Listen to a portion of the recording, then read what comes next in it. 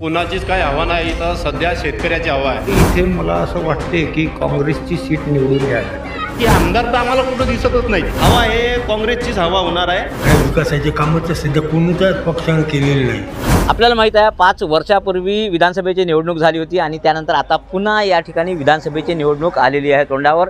आणि या दरम्यान यवतमाळ विधानसभा मतदारसंघामध्ये नेमक्या काय समस्या होत्या काय नाही तिथल्या आमदारांनी सोडवल्या नाही सोडवल्या. हे सगळं आपण या न्यूज एटीन लोकमतच्या शोच्या अंतर्गत आपण हे जाणून घेत आहोत. दादा मला एक सांगा की काय नेमकी हवा आहे मतदारसंघामध्ये? इथं कोणाचीच काय हवा नाही. इथं सध्या शेतकऱ्याची हवा आहे. शेतकरी इथं होरबलण्यात आलेला आहे. शेतकऱ्याचे खूप काही प्रश्न आहे. सोयाबीनला भाव नाही कापसाला भाव नाही. इथं महाविकास आघाडीची हवा आहे तशी पाहत होतं. इथं शेतकऱ्यात पाहतो मी तुम्हाला दाखवतो या ह्याच्या माध्यमातून दोन हजार चौदाला सो सोयाबीनचे भाव किती होते हो? आता भाव किती आहे? गॅसचे भाव किती होते? पेट्रोलचे भाव किती होते? आता महागाई किती वाढली? जिथं सोयाबीन शेतकऱ्याचं निघलं त्यावेळेस तेलाचे खाद्यतेलाचे भाव आणि सोयाबीनचे भाव नाही.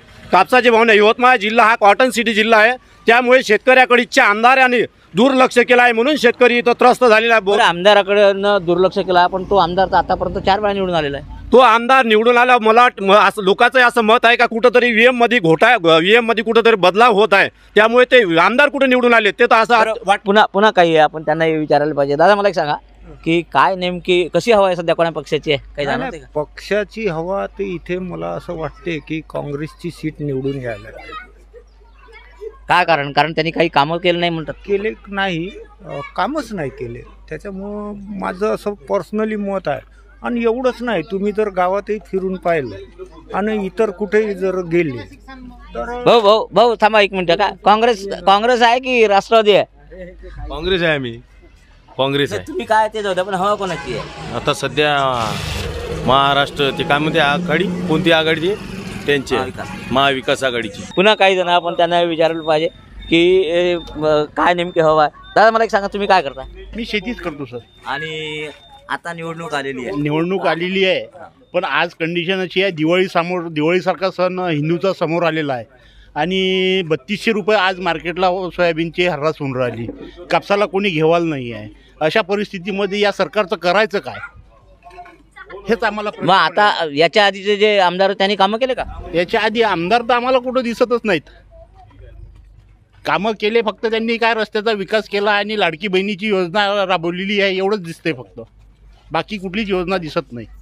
पुन्हा या ठिकाणी काही अ, म, आहेत तरुण त्यांनाही आपण विचारायला पाहिजे की नेमकी काय हवा. आहे. दादा मला सांग बरं कोणाची हवा आहे नेमकी आणि तू काय करतोस? दादांनी अं, तरुण म्हटल्यामुळे मी सर्वात पहिले जय जवान आणि जय किसान हा घोषणा देईल.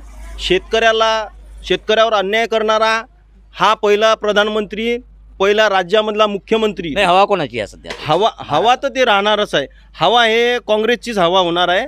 ज्या वेळेस कने लाईन गेली का आमच्या इथला आमदार चेंज होतो? वीस हजार मतांनी जरी पाठीमागं राहिला तो तो निवडून येतो लाईन गेल्यामुळे. कशामुळे काँग्रेसची हवा आहे? जनतेला सोयाबीनच्या सोयाबीनला भाव नाही कापसाला भाव नाही. जनतेच्या खूप प्रश्न आहे. तेलाचा पिपा बघा तुम्ही किती महाग आहे. तेल महाग असल्यामुळे सोयाबीन स्वस्त आहे. कापूस एकदमच खालच्या स्तरावर दिला आहे त्यांनी रेट आणि जे हमी भाव दिला आहे त्या हमी भावाप्रमाणे ते घेत नाही आहे पुन्हा आपण विचारूया.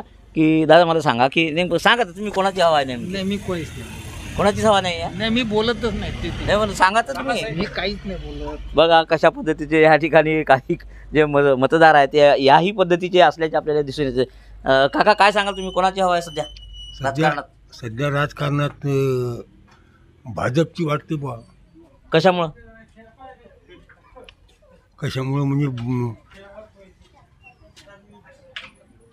जे कार्य करत आहे ते भाजपवाले. त्याच्यामुळं. काही केलं का विकासाचे कामं इकडे? नाही विकासाचे कामं तर सध्या कोणत्याच पक्षाने केलेले नाही.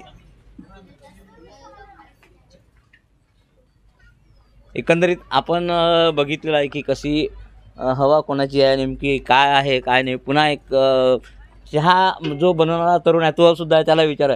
सांग बरं बाळा मला कोणाची हवा आहे इकडे? काय माहीत नाही मला. नाही का? नाही. काहीच नाही. काँग्रेस राष्ट्रवादी एन सी पी काहीच माहिती नाही? नाही. नाही का? राजकारणाशी काही संबंध आहे का? काहीच नाही. बघा याही पद्धतीचे अशा पद्धतीने विचार करणारे तरुण दिसतात. काही जे नागरिक आहे मतदार आहे शून्य तेही त्या त्या पद्धतीने दिसतात आपल्याला. मात्र काही लोकांचं स्पष्ट मत आहे की शेतकऱ्यांच्या जो अ, शेतमाल आहे त्याच्यावरून प्रचंड प्रमाणात या ठिकाणी नाराजी असल्याचं दिसून येत आहे.